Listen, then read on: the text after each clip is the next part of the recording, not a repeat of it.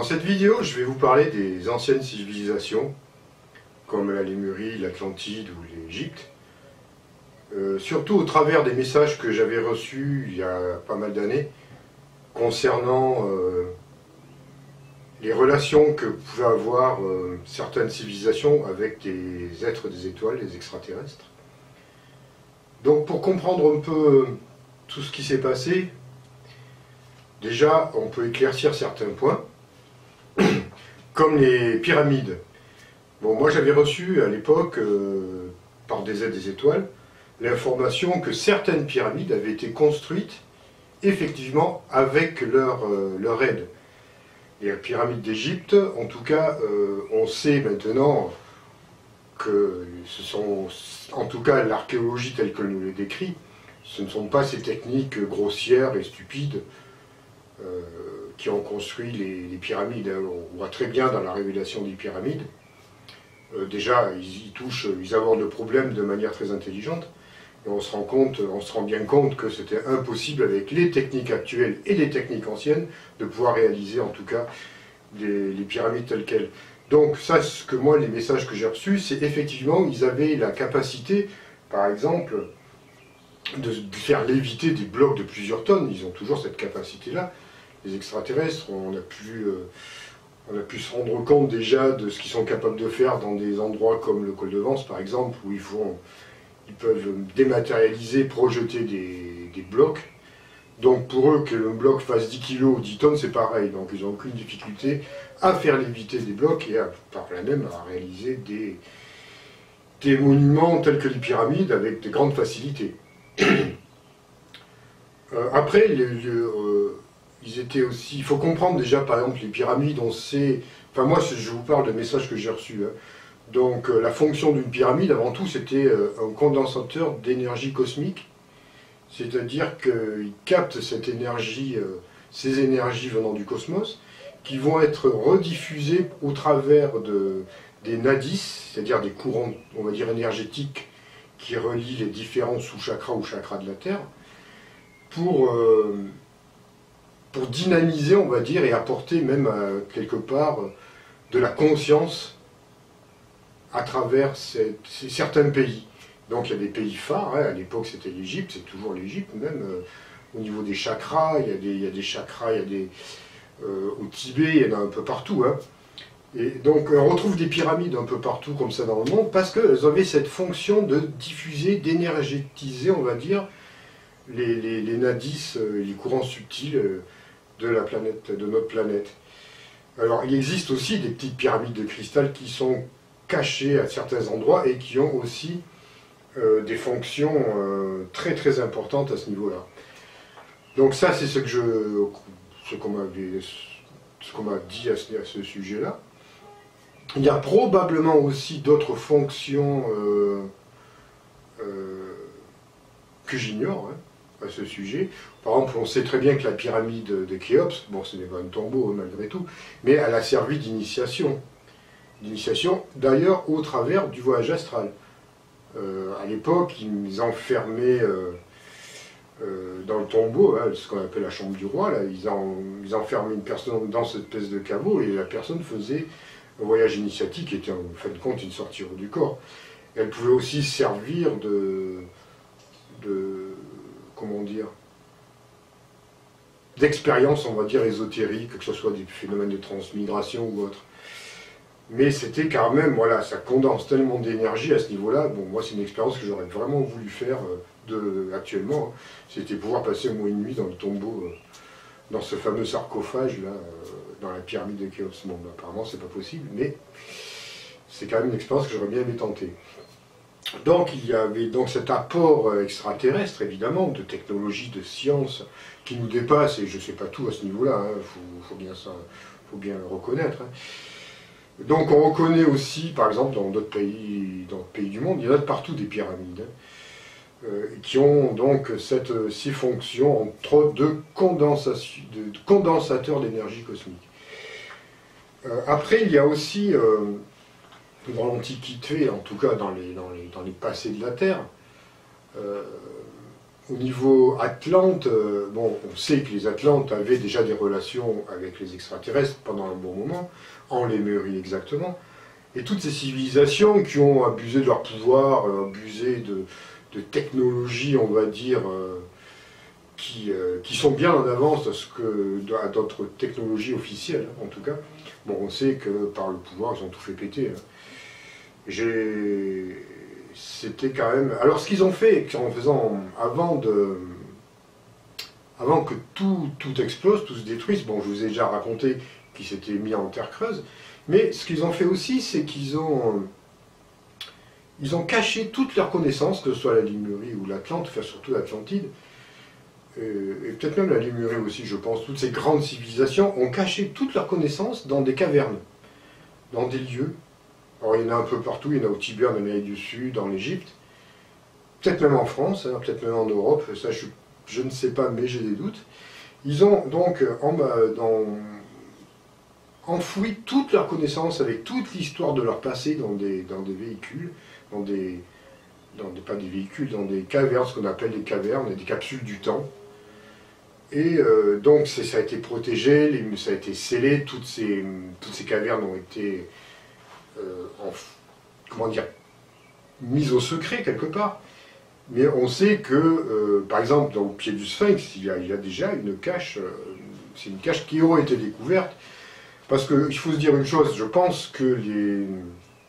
J'en suis pas sûr, tout ce que je vous dis là, je ne sais, je ne peux pas vous le garantir à 100%, mais c'est un peu des intuitions que j'ai, c'est que les gouvernements mondiaux auraient mis la main sur ces... en tout cas sur une partie de ces connaissances, et euh, à moins que aussi euh, les aides des étoiles les protègent du gouvernement mondial. Mais ce que je sais, c'est que le gouvernement mondial a les connaissances atlantes, donc euh, déjà, donc il les a c'est des connaissances qui nous dépassent largement. Donc il est fort possible qu'ils aient mis la main sur, ou en tout cas, quelques capsules du temps, malheureusement. Et ils sont, ils sont détenteurs de connaissances absolument fabuleuses dans tous les domaines. Hein, dans tous les domaines, parce que c'était quand même des civilisations qui, sont nettement en avance euh, par rapport à ce que nous, sommes. Donc, euh, donc ces capsules du temps, elles existent euh, évidemment dans l'Himalaya, au Tibet, en Égypte. Mais je pense qu'un jour ou l'autre, ils avaient caché ça, scellé ça d'une manière aussi à ce que, pas, que des personnes mal intentionnées ne puissent pas les, découvrir. Donc euh, c'était protégé peut-être par des, barrières astrales ou des barrières subtiles, je ne sais pas. Mais est-ce que les gouvernements mondiaux ont eu la capacité de, d'aller au-delà de ça et de les prendre, prendre toutes ces connaissances, c'est fort possible. Ça, c'est fort possible et euh, malheureusement, je crois que c'est le cas. De toute façon, même s'ils n'ont pas réussi à percer le secret de ces capsules du temps, euh, ils ont les capacités de voyager dans le temps au travers des euh, pas des annales mais ils ont, ils recréé des machines comme le, comment on appelle ça, le, celle de la machine à remonter le temps que le Vatican détient. Donc ils ont pu mettre euh, au moins retrouver les, connaissances atlantes de l'époque. Mais bon, je ne suis pas sûr à ce niveau-là. Quoi qu'il en soit, ils ont des connaissances qui nous dépassent. Hein. J'espère que non, hein, malgré tout, mais ça, parce que c'est quand même euh, ces connaissances pourraient faire évoluer le monde d'un côté positif, vous ne pouvez même pas imaginer. Il y a toutes les énergies libres dedans, il y a des connaissances en médecine qui vous guérirait les cancers en deux secondes. Euh, on pourrait aller sur, euh, sur d'autres planètes à des vitesses euh, qu'on ne peut même pas imaginer. Donc toutes ces connaissances, j'espère un jour, seront mises à notre disposition quand l'humanité aura atteint une sagesse qui fait en sorte qu'on ne serve pas de ces, connaissances pour nous faire la guerre, une fois de plus, hein, tout détruire. Mais franchement, même elles existent, et euh, moi, je suis optimiste toujours hein, dans ce sens-là, où euh, un jour, elles apporteront euh, vraiment le, bonheur sur Terre, quoi, parce que ça vaut vraiment le coup de remettre, de redécouvrir ça, et, enfin le passé tel qu'il a été, tel qu'il a existé, pas tel que nous raconte l'histoire, qui est falsifiée. Tout le monde sait que l'histoire, en tout cas tel qu'il nous est raconté, bon ça a été remis à la sauce des historiens et des politiques et des gouvernements secrets, occultes et des religions pour en faire une espèce de, connaissance complètement erronée et sous contrôle. Parce qu'ils savent très bien que l'Atlantide a existé, ils savent très bien que la Limerie a existé, que les extraterrestres euh, avaient déjà, venaient déjà sur Terre euh, à ces époques-là. Donc tout ça c'est gardé secret, hein, vous en doutez bien. Euh, donc, voilà, il y a ces capsules du temps. Alors, on, peut y accéder, y accéder en sortir du corps, en fait, mais il faut vraiment des intentions pures. Bon, moi, personnellement, j'y ai pas encore eu lieu officiellement, hein, je n'ai pas de souvenir en tout cas.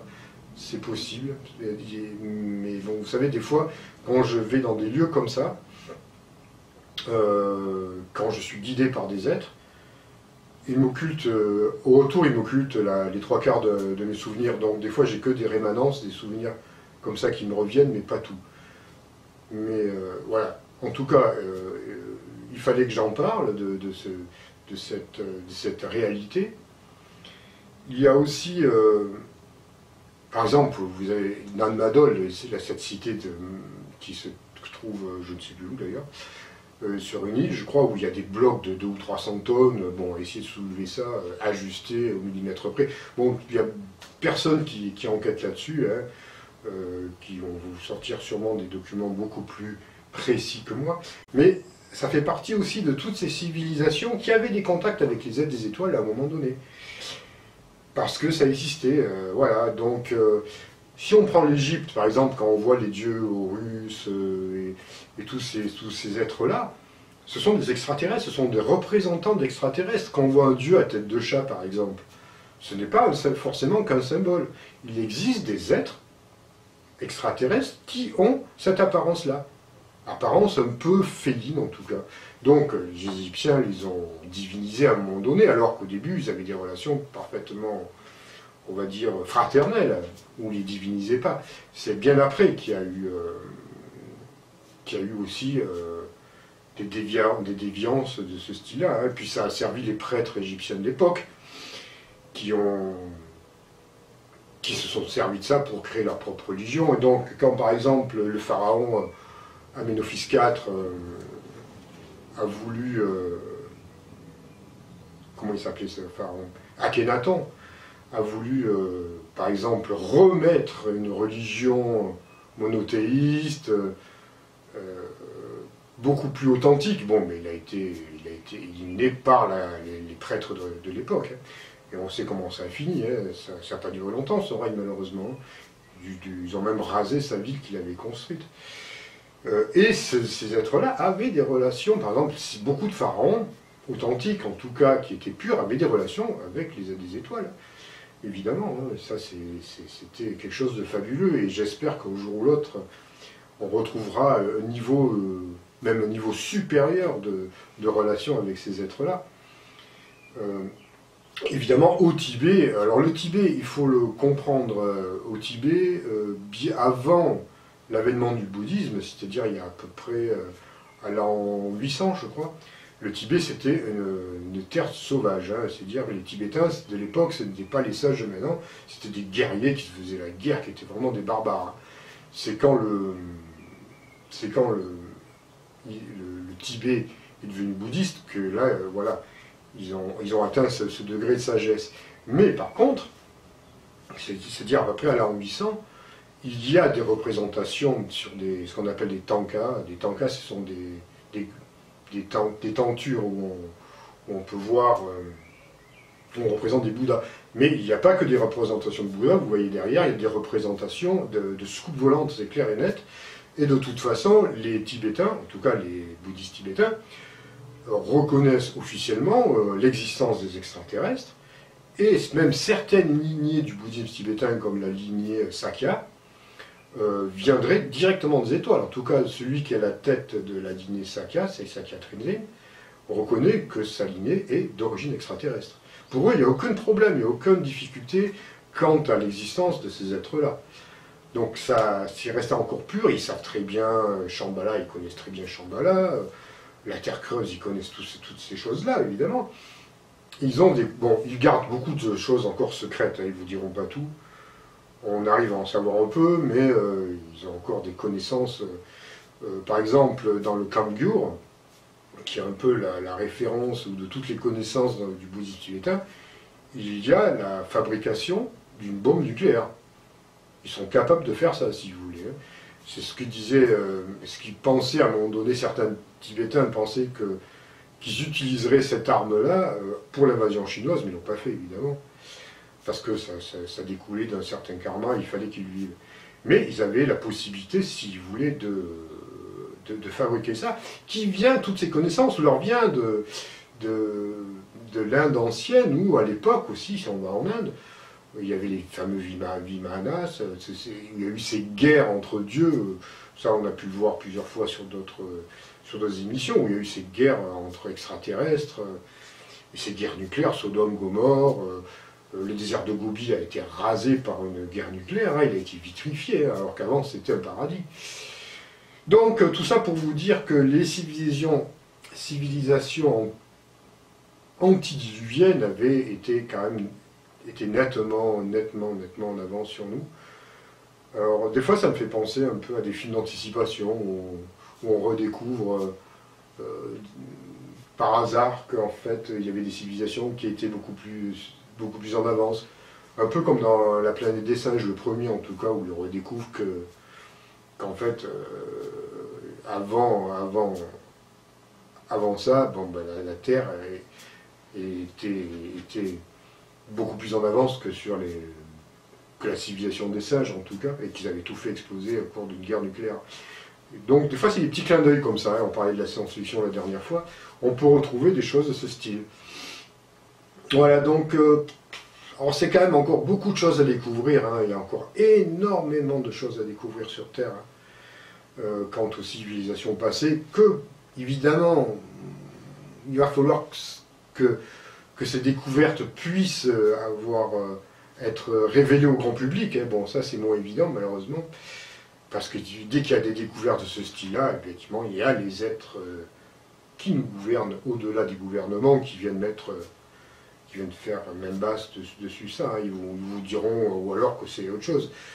Alors, voilà, il y a peut-être même des archéologues très connus en France qui sont manipulés volontairement ou involontairement, et qui, comment dire, dénigrent tout ce qu'il peut y avoir dans ce style-là en tant que découverte fabuleuse. Euh, voilà, bon, on sait très bien, l'égyptologue Avas, Avas, je ne me rappelle plus trop de cet euh, égyptologue là, qui avait la même basse euh, surtout en Égypte avant la chute de, Moubarak. Et je crois malheureusement qu'il a retrouvé son pouvoir, hein, disant que lui, quand il y avait une découverte de fait en Égypte, il fallait rien toucher, c'était lui qui venait en premier regarder ce qui se passait. Vous savez, il avait un chapeau là, hein. je ne me rappelle plus de je crois que c'est Avas, un truc comme ça. Aminarlas, euh, bon, vous cherchez sur Internet, vous le retrouvez. Il avait un pouvoir extraordinaire, et en plus, il se faisait tout passer, les découvertes sur lui, évidemment. Euh, Et je crois qu'il avait été mis à l'écart quand Moubarak est tombé, mais je crois qu'il a retrouvé déjà ses prérogatives et son pouvoir. Donc, euh, il y a des choses qui ne sont pas très nettes aussi à ce niveau-là, évidemment. Quant aux pyramides de Bosnie, alors, euh, ça me semble bizarre. Je pense qu'il faut continuer à chercher. En tout cas, il y a quelque chose. Je ne sais pas si ce sont des véritables pyramides ou des proto-pyramides, peu importe. Mais je pense qu'il y a quand même quelque chose là-bas derrière hein, à. Euh, faut pas, c'est pas aussi simple que ça. J'ai pas étudié les choses à fond, j'y ai pas été, ni en astral ni physiquement. Ça fera peut-être euh, l'occasion que j'aille explorer ça sous un plan plus subtil. Mais euh, ça ne me choquerait pas outre mesure. Bon, après, on peut partir en Angleterre avec effectivement Stonehenge et toutes ces, ces mégalithiques. Euh, il faut savoir aussi que dans le White Shah, là où il y a toutes ces, euh, ces crop circles, euh, il existait avant la cité d'Avalon. La cité d'Avalon, c'est une cité qui existe sur un plan subtil, qui est un peu une espèce de petit chambala, on va dire. Hein. C'est quand même une cité d'être réalisé et qui, habitait là-bas. Euh, donc, euh, vous voyez, ce sont des lieux très mystiques où c'est pas par hasard que les crop circles authentiques, en tout cas faits par les des étoiles, ont lieu dans, cette, dans ces zones. Parce que c'est toujours pareil, voilà, ça va rediffuser euh, des, des, zones positives, des rayonnements sur beaucoup de. Sur la planète, quoi, il hein, ne faut pas croire. Finalement, après, on retrouve l'île de Pâques. Enfin, on connaît toutes ces choses-là, le temple d'Ancor, qui est un qui, est quelque chose de puissant, de très puissant sur un plan énergétique. Dans tous ces lieux-là, ils n'ont pas été conçus au hasard. Par exemple, le, Luxor aussi, hein, le temple de Luxor. on, connaît tout ça, hein. on sait. Donc euh, voilà, c'est ce que je pouvais dire à peu près. Bon, je vous apprends peut-être pas grand-chose, grand-chose, parce qu'effectivement, on peut trouver. Moi, je peux juste vous confirmer que j'ai pu voir, et j'ai eu des contacts avec des étoiles qui m'ont confirmé, euh, voilà, en tout cas que euh, ils étaient à l'origine, en tout cas, de la construction ou de l'aide apportée pour la construction de certaines pyramides, pas toutes évidemment, mais je pense que c'est plus importante, et que voilà, ils étaient vraiment bien là depuis très longtemps, et qu'ils sont aussi à l'origine de, construction de, ces, de, ces, monuments absolument fabuleux qui existent sur Terre. Donc ça, je peux vous le confirmer.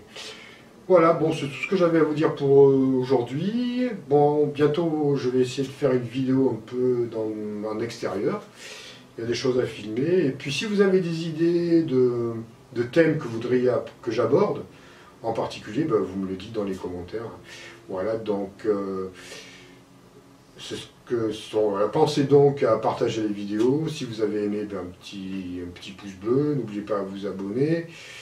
Et puis euh, voilà, donc si vous voulez continuer aussi à m'aider euh, euh, pour soutenir ma chaîne, bon, il y a toujours la cagnotte Litchi qui, existe, hein. donc vos dons sont toujours les bienvenus parce que faut pas trop compter sur YouTube pour être bien payé, hein, parce que franchement, ça n'a rien du tout depuis des mois. Donc j'aimerais pouvoir aussi avoir créé des projets plus conséquents. Voilà, donc si tout ça vous intéresse, euh, ben, euh, vous trouverez tous les liens en, en bas de page. Voilà, je vous remercie et je vous souhaite une bonne semaine. À bientôt.